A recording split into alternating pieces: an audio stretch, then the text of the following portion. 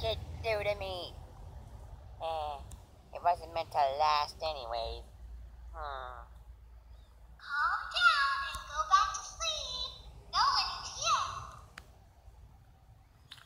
Um, okay. I heard something for a moment, but